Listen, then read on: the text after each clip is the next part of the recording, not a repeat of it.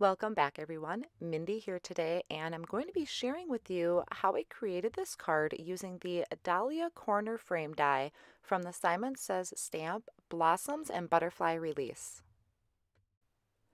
Here's a look at the Dahlia corner frame die. You could see it die cuts out this beautiful frame and a very gorgeous detailed dahlia in the corner there. This measures about two and a quarter by three and a half inches. So the first thing I'm going to want to do is I'm creating a background for my frame. I'm using Distress Oxides for this, and I'm also using the Gina K Designs Layering White cardstock. So the first one I'm starting off with is Tumbled Glass, and this is just a really nice light blue. So I'm taking my uh, life-changing blender brushes from Pink Picket Fence Studios, and I'm just adding a really light color down onto my cardstock. So you can see I'm just swiping my brush over my ink pad and then just blending lightly onto the card.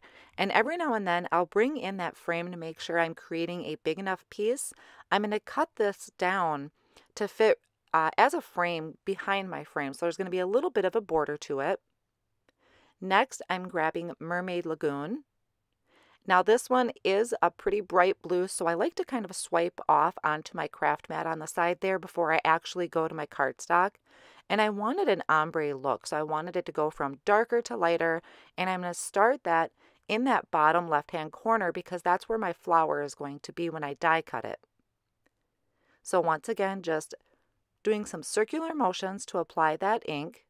And you can see the best way for me to have control over these brushes is I'm holding it way towards the top, so right at the head of the brush. And that was just easier for me so I can control how my brush is moving and how much pressure I'm applying.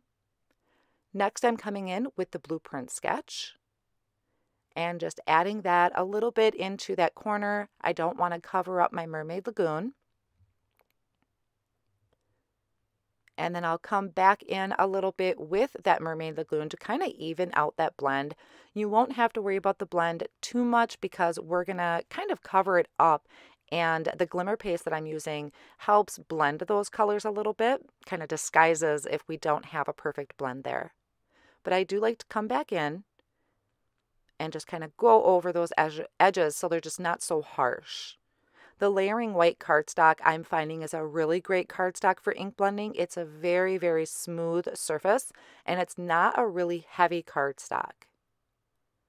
And then coming in with that tumbled glass to finish that off.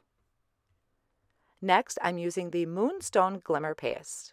And this is just some really gorgeous sparkle I'm going to add to that background. We're still going to see those colors shine through, but it's just going to add a ton of sparkle. So I'm going to scoop some out of my jar and just kind of smush it down onto my cardstock there.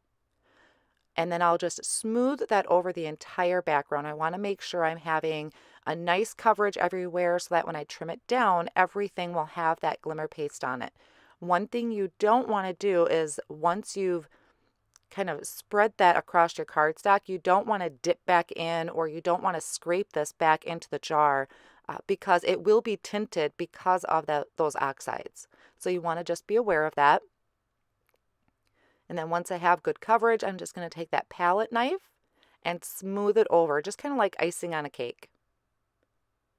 And once I'm done with this, I will wipe down my palette knife right away and I'm going to clean off my mat. So now I'm going to take that uh, Dahlia die and do some die cutting. First, I'm starting off with some white glitter cardstock from Simon Says Stamp, and I'm using some double-sided stick it adhesive. I always keep forgetting to do this, so I'm really excited I did this. You can just do regular glue too uh, to attach it, but I thought this would be so much easier. So I'm applying this to the back of my white glitter cardstock, and that's going to give me even, co even coverage of adhesive on the entire back of that piece. And it just makes it a lot easier to attach this die cut down onto cardstock once I'm ready. So I'm going to give this a really nice good push down, make sure that uh, my stick it is stuck everywhere I need it to be, and then I'm going to just trim off those excess edges. and then I can get ready to die cut. So I will be using my Gemini Junior. This is such a phenomenal machine for die cutting, especially intricate dies like this. You can use whatever die cutting machine you have. This is just one that I have really been loving lately. So then once I ran that through the machine, you could also do some inlay die cutting because as you can see, this is really stuck in there. I'm kind of carefully prying the edges up and then I'll pull it very carefully. I don't want to ruin any of my intricate design. And you could save those pieces. I'm not really one for inlay die cutting, so, but if you are, it's a gorgeous look that you can do with this as well. And then I'm just going to take my little pokey tool and pop out any of the inside pieces that didn't come out freely. There is a little bit of the backing from my stick it adhesive in there, I'm um, not going to worry about it because once I peel off that backing, those are going to pop right out. And then I also use my pokey tool to kind of pop out the rest of my die so I can clean that up and it's ready for a next use when I go to make another card. So the sentiment I'm going to choose while my card, glimmer card cardstock is drying is this is happy birthday and this is from the tiny words stamp set from Simon Says Stamp so I just loaded that into my MISTI tool. I'm using some black cardstock that I prepped with an anti-static powder tool. That just helps so my embossing powder only sticks to my sentiment when I stamp it. And I'm going to use the Simon Says Stamp Clear ink. This is an embossing ink, so this is going to be great. And I'll just ink up my stamp. Now this is a very small stamp set, very delicate words. So when you stamp down, you don't want to push real hard. You'll kind of squish your stamp and then it's just not going to look as clear.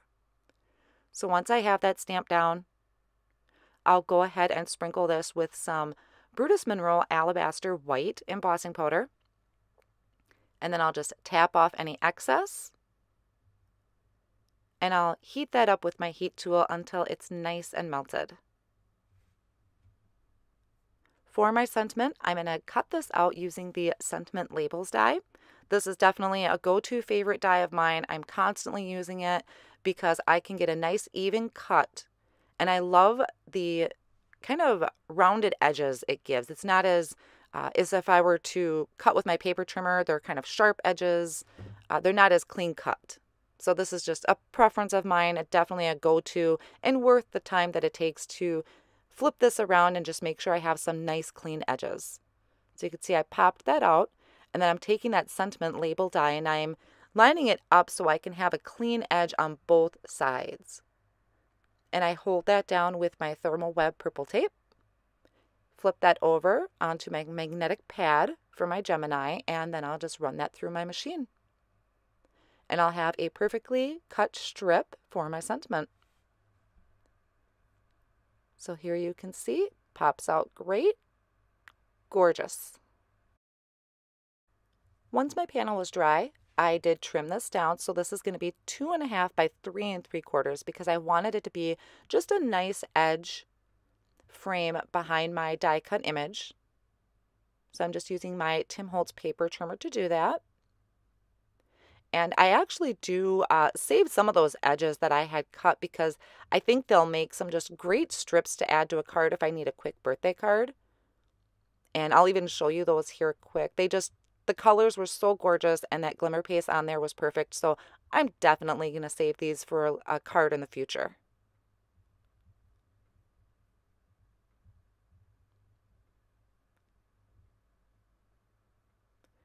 Now I'm just kind of lining up where I'm going to want everything to go. I'm happy with the size of everything and I'm deciding to just add this to a white note card. I thought there was so much detail in the die cut and the beautiful glimmer paste that I didn't need to add any more to this.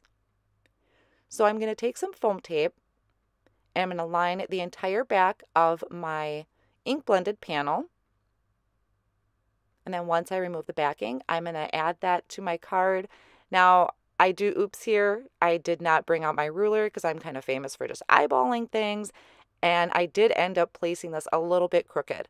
I thought about trying to pry it back up, but it was pretty stuck even though I didn't push down really hard. I didn't want to waste anything, so it was staying crooked. That was just how I was going to roll with it. You could add some liquid glue to the back of your foam tape. That would give you a little bit of wiggle room, but I didn't think of it at the time. So just giving you a heads up if you decide you want to try and make something straight. I would definitely get a ruler out for that. So here I'm just removing the backing of that double-sided stick-it adhesive. You could also just add little dots of liquid glue. But like I said, this was just a lot easier to do and once I kind of lined it up on here, you could put a block on it, just kind of sit for a little while. Make sure that that adhesive really sticks to our textured background. So you can see I'm just going to give that a good push. And I just love all of this sparkle on this card. And this is such a gorgeous little frame. I had so many ideas for this frame. It's just a perfect, simple thing you can do to put a card together. Now for my sentiment, I did add just a little bit of foam tape and I actually triple layered it on the very edge that hangs off of my ink blended mat there, just so it was nice and even. And then I'll give you a closer look at all the gorgeous shine and glitter on here. I hope you enjoyed today's video. If you did, I would really appreciate a thumbs up and you can subscribe to my channel if you haven't already and would like to see more videos from me. I will have all of the supplies listed down below in my video description and also on my website as well. Thank you so much for joining me today, and I'll see you in the next video.